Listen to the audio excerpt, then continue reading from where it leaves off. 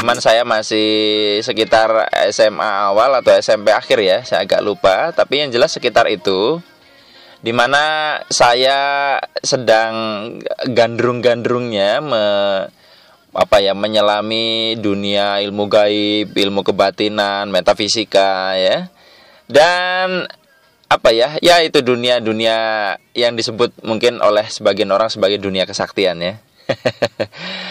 ya itu masa lalu ya. Saya manusia biasa, sekarang manusia biasa Eh, tapi tujuan saya untuk mengangkat eh, pengalaman saya eh, waktu dulu itu adalah bukan semata-mata atau mengarahkan Anda supaya Anda belajar seperti itu, bukan.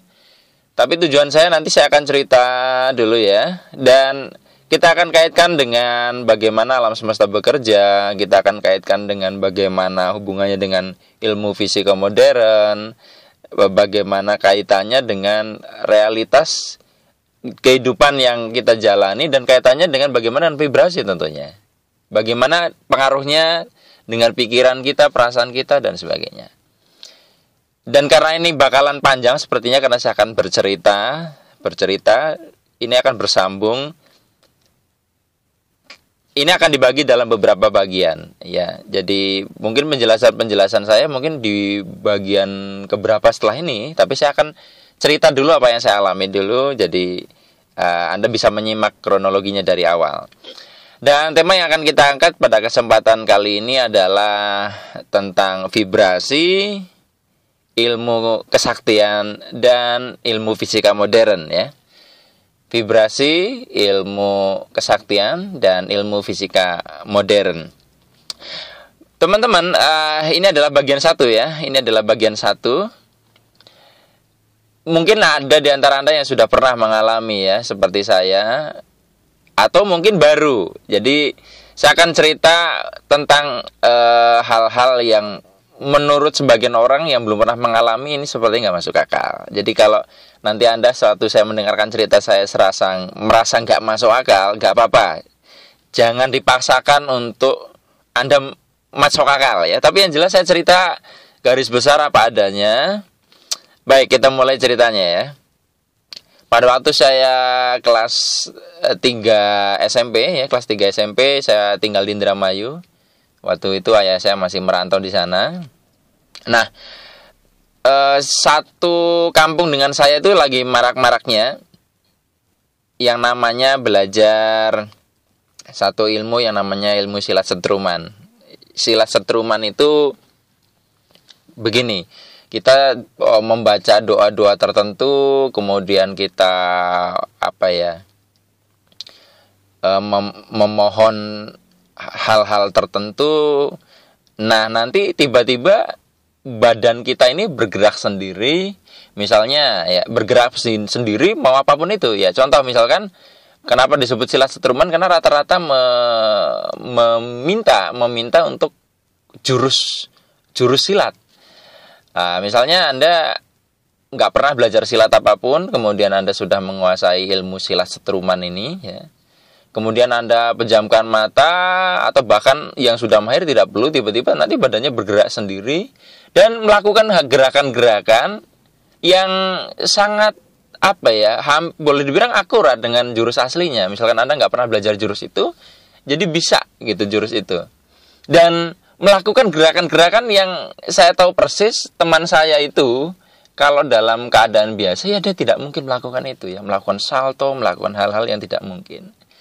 Nah akhirnya uh, saya tertarik teman-teman saya tertarik untuk belajar seperti itu uh, ada satu uh, apa namanya guru yang waktu itu saya waktu masih kecil eh waktu SMP kelas 3 itu ya masih kecil ya hitungannya. Namanya Kiai Mun ya Kiai Mun. Mun siapa saya lupa. Kemudian saya dengan teman saya namanya tetangga rumah belakang rumah namanya Sabar Iman itu mau belajar silat setruman. Namanya di sana silat serbaguna. Kemudian uh, saya ke sana sama uh, teman saya namanya Sabar Iman ini kemudian uh, katanya suruh ke situnya nanti malam. Yang malam nanti malam jam berapa ya? Saya lupa. Habis Isya atau ya sekitar jam 8-an ya.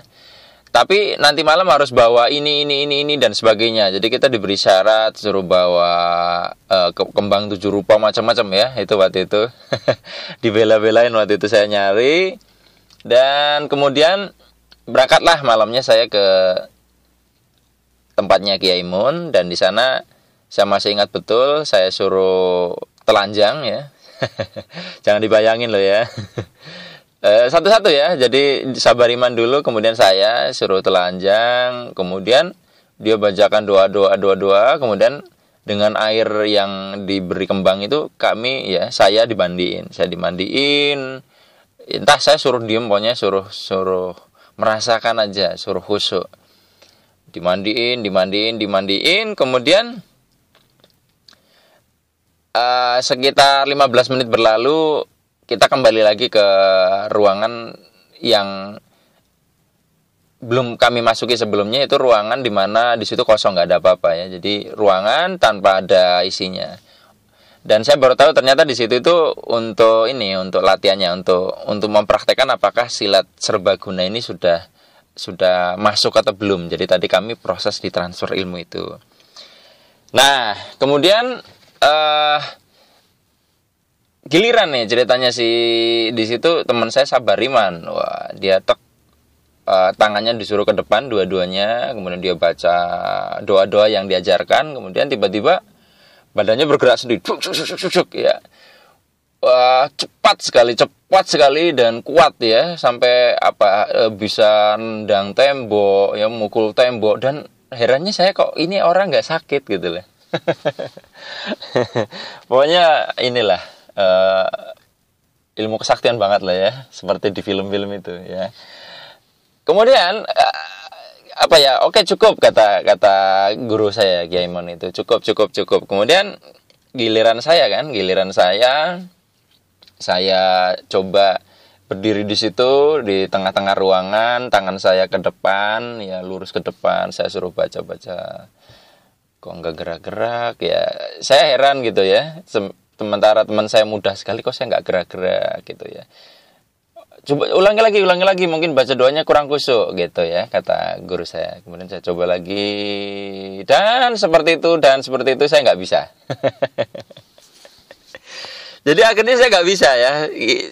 Berulang kali besoknya saya ke situ lagi dan lihat teman-teman yang lain juga pada latihan. Itu kok bisa ya seperti itu bisa melakukan hal-hal itu. Padahal saya nggak bisa bisa dan karena saya nggak bisa-bisa kata guru saya kamu sering-sering wirid ini ya wirid saya diberikan satu wiridan ya untuk zikir untuk diamalkan pulang setiap uh, habis sholat ya waktu itu.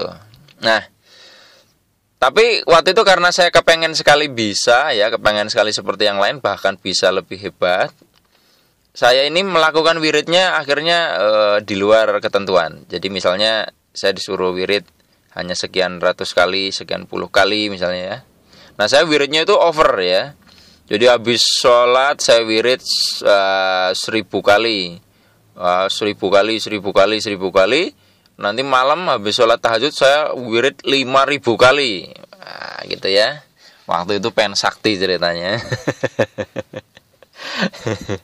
nah itu saya jalani hari pertama, hari kedua dan waktu itu bertepatan dengan masuk ke bulan puasa. Waktu itu saya lupa bulan puasa kapan, itu bulan puasa. Dan apa? Saya melakukan wirid-wirid-wirid itu hari pertama, hari kedua, hari ketiga, hari keempat, tetap aja nggak bisa loh, masih nggak bisa tangannya itu e, bergerak sendiri, badannya gerak sendiri melakukan silat setruman seperti teman-teman saya yang lain. Ya sudah, saya wirid terus wirid ya terus wirid. Hari pertama hari kedua hari ketiga hari keempat hari kelima terus sampai kemudian hari ke sepuluh hari ke sebelas hari ke dua belas mulai ada hal yang aneh. Kadang saya mencium bau-bau yang tidak biasa. Saya bisa mendengar uh, apa namanya? Bisa mendengar uh, suara laut uh, bisa mendengar hal-hal yang yang nggak nggak saya dengar. Pada waktu saya memejamkan mata. Tetapi ketika buka mata loh nggak ada apa-apa gitu ya. Terus saya lanjutkan saya lanjutkan sampai akhirnya uh, malam ke berapa ya 15 sekitar malam ke 15 ceritanya itu masih puasa uh, puasa kan ya? Puasa malam ke 15 ini malam ke 15 Ramadan ya malam 15 bulan puasa. Habis tarawih saya tidur kemudian saya bangun sebelum eh, sebelum sahur saya bangun jam sekitar jam 1 atau jam 2 lah ya. Kalau sahur ibu saya sekitar jam 3 atau jam 4 saya lupa. Nah kemudian saya wirid. Ya wirid 5000 kali. Kita saya lakukan wirid. Ya oh ya wiridnya waktu itu ya Allah ya Allah ya Allah ya Allah gitu terus ya. Dan rasanya itu yang tadinya saya merasa ada di mana tiba-tiba merasa ada di mana gitu beda beda kayak beda alam ya waktu itu rasanya. Dan kalau sudah nyaman itu males untuk berhenti. Jadi ada satu kenikmatan yang susah untuk dibayangkan. 5000 kali ya jadi nggak tahu berapa putaran tasbih mungkin udah lebih nggak ngerti. Nah kemudian uh, oh sorry ini kejadiannya jam 12 malam sorry do jam 12 malam kemudian saya wiri sampai 5000 kali kemudian saya tidur. Saya tidur posisi jam berapa ya? Saya lupa. Ya berarti jam satu atau setengah dua belum sahur itu. Ayah saya belum sahur, belum sahur ibu belum sahur. Saya tidur kemudian pada saat saya tidur tiba-tiba saya ngalamin satu kejadian. Nah di sinilah awal mula nanti saya akan mengalami banyak kejadian yang menurut saya aneh ya. Yang kita akan bukan hanya bahas keanehannya tapi kita akan bedah dalam sudut pandang ilmu fisika ya. Ini bukan mengarahkan anda berpikir ke arah mistik bukan. Nah lanjut ceritanya. Kemudian saya tidur. Nah pada saat saya tidur nggak terjadi apa-apa awal-awal. Kemudian saya dibangunkan seperti serasa dibangunkan. Kok saya merasa sepertinya ini apa saya dibangunkan sahur gitu ya. Tapi nggak ada siapa-siapa. Tapi saya merasa ada sosok lain yang ada di ruangan itu gitu lah tapi nggak ada tapi saya merasa kayaknya ada yang bangunin. Kemudian seperti ada yang berkomunikasi dengan saya bangun Rif gitu oke saya bangun. Ketika saya bangun tak gitu duduk. Kemudian berdiri katanya. Dah saya berdiri. Saya kaget kenapa? Loh kok ringan sekali rasanya. Dan ternyata ketika saya menengok ke kasur ya itu di situ ada tubuh saya nah stres nggak saya waktu itu takut ya eh, kok tubuh saya ada di kasur lah saya ini siapa gitu ya dan saya waktu itu merasa ini bukan mimpi deh, ini bukan mimpi, ini bukan mimpi. Saya betul-betul sadar waktu itu. Nah, kemudian uh, ada perintah lagi katanya, kamu coba tanganmu sedekap di depan, kemudian suruh merem saya merem, kemudian muter ya. Jadi saya merasa muter benar, saya muter melayang-layang, kemudian nembus ke atap, menjauh, menjauh, menjauh, menjauh, hilang. Ya. Jadi saya ingat betul di bagian itu hilang, selalu pet, udah nggak ingat apa-apa, eh, sampai kemudian tiba-tiba saya berada di suatu tempat yang belum yang asing yang yang saya pikir itu bukan di bumi katanya jadi uh, saya melihat di situ banyak banyak tenda-tenda warna putih uh, lant apa tanahnya itu seperti padang golf ya hijau gitu ya rindang terang tapi tidak panas tidak ada matahari tapi terang gitu loh terangnya tidak menyilaukan, menyejukkan. Kemudian saya lihat di situ orang usianya rata-rata sama ya, baik laki-laki atau perempuan pakainya semuanya putih, semuanya sama, nggak ada anak-anak macam-macam nggak ada, semuanya usianya sama. Kemudian saya masuk e, diajak, nggak tahu saya saya lupa saya dengan siapa itu lupa. E, saya diajak masuk ke sebuah eh, tenda tertentu gelap di dalamnya dan entah saya diomongin apa lupa pet.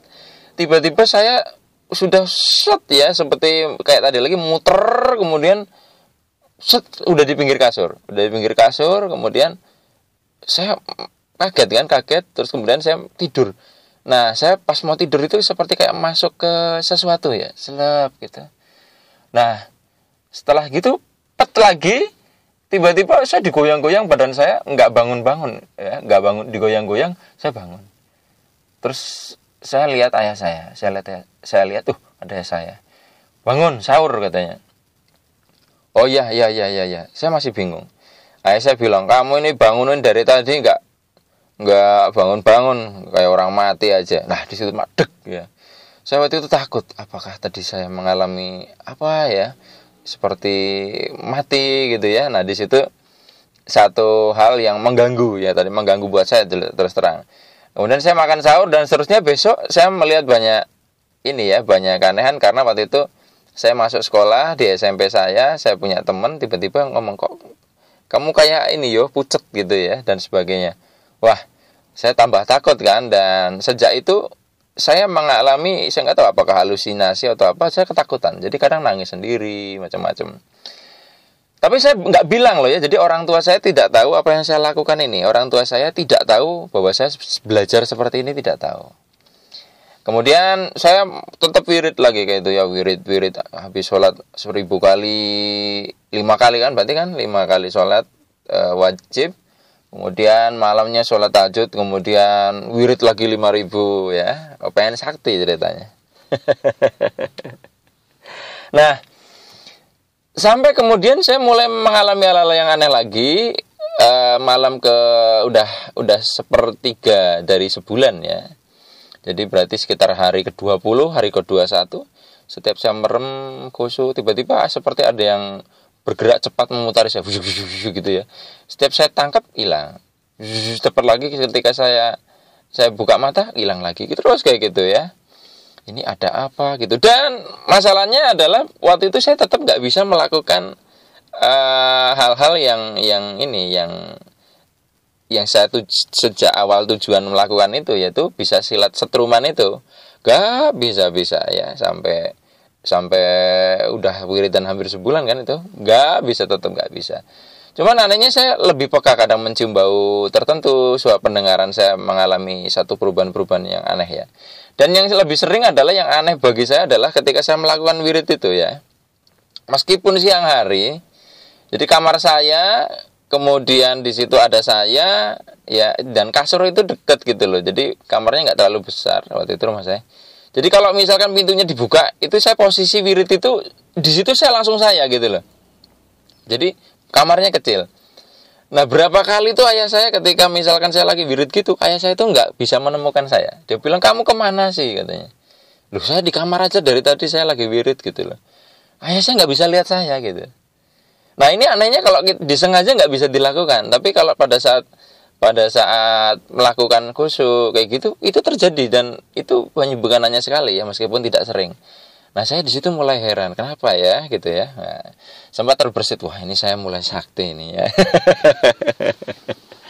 Nah akhirnya kemudian sudah sebulan dan sudah lebaran itu saya mengalami nggak tahu sering masih teringat kejadian-kejadian atau sering mendengar hal-hal yang yang uh, di luar ken, penalaran saya penalaran saya kok ini aneh ya? Jadi saya sering kayak orang orang bingung gitu kadang nangis sendiri kadang macam-macam. Akhirnya uh, waktu itu ayah saya ya pas waktu kelas 3 SMP ini ayah saya heran. Ini kayaknya ada yang aneh dengan saya ada yang tidak biasa. Akhirnya ya, dia nanya sebenarnya apa yang terjadi. Dan akhirnya saya cerita bahwa saya belajar ini itu belajar ini ini ini ini ini Ah, ya saya waktu itu marah gitu loh. Kamu kalau belajar ilmu seperti itu harus hati-hati ya. E, karena bapak dulu pernah. Jadi dalam garis ayah saya itu dari garis pria memang semuanya akrab dengan dunia seperti itu. Bahkan ayah saya itu ya terkenal cukup sakti dulu katanya ya. Tapi waktu itu saya ini ya masih cara pikirnya kan seperti itu ya jadi teman-teman mohon ini jangan terus berpikirnya mistik banget ya. Ini baru bagian satu. Saya akan bahas dari sudut pandang ilmiah modern bahwa sebenarnya ini hanya fenomena fisika sebenarnya. Ya fenomena fisika tapi eh, di satu sisi menunjukkan betapa hebatnya manusia ketika eh, dia mempercayai sesuatu, ketika dia mengakses mengakses vibrasi tertentu. Ini ini luar biasa kalau kita kaitkan dengan kehidupan gitu ya. Oke, lanjut. Kemudian uh, apa setelah itu karena saya sering ngalamin kejadian seperti itu akhirnya ayah saya ini uh, memilih untuk wis sudah kamu kalau kalau mau belajar seperti itu yuk bapak dampingi. Akhirnya uh, di uh, desa sebelah jadi dua desa sebelah ada uh, ada desa lagi sebelah saya terus desanya setelahnya namanya desa Tugu. Itu rekan bapak saya namanya Pak Teddy itu buka cabang ternyata buka cabang perguruan sebuah perguruan ya. Saya nggak sebutkan namanya perguruannya ya. Saya nggak sebutkan tapi kalau anda ketemu saya nanti kopi darat saya akan cerita uh, nama perguruannya. Pakainya masih ada ya. Pakainya masih ada juga cuma saya copot logonya. Kemudian uh, saya di situ ternyata wiridanya berubah ya. Jadi saya masuk sama ayah saya kemudian di situ wiridanya berubah. Wiridanya berubah. Jadi yang tadinya Allah Allah Allah Allah, Allah gitu wiridanya berubah. Dan di situ saya dibersihkan dulu katanya dari ilmu terdahulu. Ya yes manut ya nah ternyata setelah masuk ke situ bukannya saya mengalami satu kesembuhan ya artinya dalam hati menjadi lebih normal tapi malah sering mengalami hal-hal yang aneh dan uh, apa ya tapi waktu itu uh, masih udah mendingan sih saya sudah tidak sering nangis ketakutan karena fenomena yang saya alami pada malam ke-15 itu yang seperti pengalaman saya yang mati tadi ya yang yang saya keluar dari tubuh saya sendiri. Nah, cuman yang yang menarik adalah saya sering mengalami hal-hal aneh misalnya di situ kan diajarin yang itu loh, yang kalau Anda lihat di TV yang mental-mental itu loh, misalkan ada kita diserang, kemudian kepental orangnya gitu kan. Itu waktu itu ya zaman itu yang terjadi. Nah, pada suatu malam guru besar kami yang dari Jakarta datang namanya Pak Sarki. Pak Sarki ngajarin yang namanya sila setruman. Nah ini yang saya tunggu. Saya nggak bisa-bisa soalnya. Waktu itu muter ya, ada sekitar 50 orang muter buat lingkaran besar. Semuanya pemula, semuanya pemula. Kemudian ternyata bisa. Waduh, wah muter kan giliran-giliran. Jadi mereka diberi kesempatan masing-masing 2 menit, 2 menit, 2 menit untuk mengalami uh, yang namanya sila setruman itu. Giliran terus terus muter-muter muter-muter muter sampai akhirnya sampai ke uh, ayah saya. Jadi ayah saya di sebelah saya kan, ayah saya di sebelah saya. Nah, yang lucu dari kejadian itu adalah ayah saya kan belum pernah mengalami ini kemudian ya, dia pakai celananya tuh celana ini loh celana ke kantor ya saya seorang guru ya celana kain gitu ya. Wah itu gerakannya kan pecicilan ya gerakannya nendang ke atas macam-macam ya. Ini sobek pret gitu ya. Itu 50 orang di situ ketawa semua termasuk saya ya. Itu sobek lempar sekali ya sampai kelihatan celana dalamnya. Nah kemudian teman-teman uh, giliran saya nih giliran saya kan. Pada saat waktu itu giliran saya saya suruh tapi beda posenya. Kalau dulu itu tangannya suruh ke depan ya ini biasa aja posenya. Saya suruh baca baca baca baca baca. Tangan saya cuma dipegang. Oh ya jangan dipegang. Tiba-tiba set langsung gerak. Uh tangan saya bergerak sendiri. Bergerak sendiri bisa melakukan gerak-gerakan yang yang saya juga gak ngerti. Uh jadi saya seperti menonton diri saya sendiri melakukan gerakan itu uh ini keren ya keren sekali. Saya kalau masih mengingat itu luar biasa keren. Itu bisa cepat gerakannya mantap. Uh, dan nggak capek walaupun itu gerakannya set, set, set, set, set, set, set, sampai kemudian stop ya di stop sama Pak Sarki. Dan setelah berdiri itulah saya merasa ngos-ngosan ya. Ngik ngik ngik. Otot-otot pada sakit ya. Uh, tadi padahal waktu bergerak enggak enggak merasa apa-apa gitu. Nah di situ saya senang sekali ya karena uh, saya mulai bisa dan saya uh, mulai sering melakukan yang seperti itu, sering melakukan seperti itu. Kemudian uh, sering latihan sama ayah saya ya. Jadi kalau di rumah itu saya latihan misalnya saya nafsu ya kan itu bisa istilahnya nyambat nafsu. Saya nafsu, ayah saya berdiri. Pernah waktu satu saat di ruang makan, ibu saya duduk, ayah saya berdiri di depan TV ya, agak ada jarak sih. Kemudian saya nafsu saya wow, marah ya memang niat mukul ayah saya.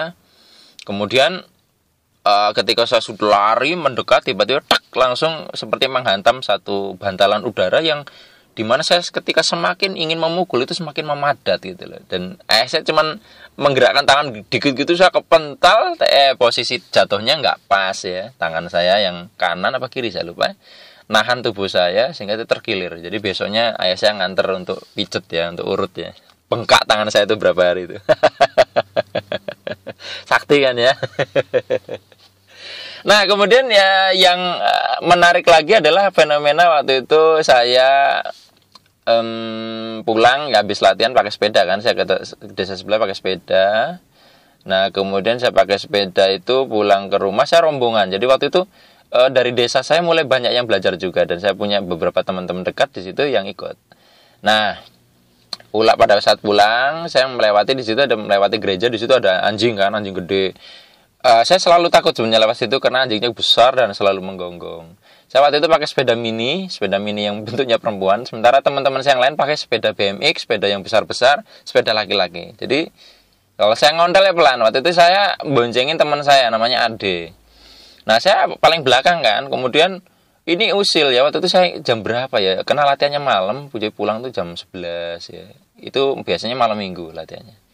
Nah malam minggu apa malam Jumat saya lupa saya lupa saya lupa tapi biasanya malam minggu karena supaya tidak mengganggu jadwal kita sekolah besoknya nah kemudian pada saat pulangnya itu teman-teman saya ini sambil ngebut mereka godain gu gu gu gitu ya mereka cepet nah ternyata anjingnya ini nggak dirantai kalau keluar dari gereja wah gue ngeri lah itu waktu itu saya takut betul ya nah itu ini ngejar ngejar saya, ngejar saya karena saya paling belakangan. Nah, di situ saya waktu itu waktu itu saya lupa baca doa apa ya. Lalu ketika anjing itu mau mendekat, tangan saya saya giniin, itu bisa kepental ya. Itu luar biasa. Saya saya sampai hari ini masih nggak percaya ya. Waktu itu yang lihat ya ini yang yang bonceng. Kemudian kepental ya, bukan hanya kepental, ketika dia menjauh, saya tangan saya saya gerakkan ke sana, keseret loh. Itu anjing itu seret gitu, bisa keseret. Saya juga nggak tahu itu. Padahal waktu itu kan belajarnya belum lama ya. Wah, pokoknya anu lah, kesaktian banget lah pokoknya. Dan di situlah uh, apa ya namanya satu pengalaman yang luar biasa ya gitu teman-teman. Dan bagaimana kelanjutannya teman-teman kita akan sambung di rekaman untuk esok hari kelanjutannya karena saya akan buat hanya berdurasi 30 menit ya.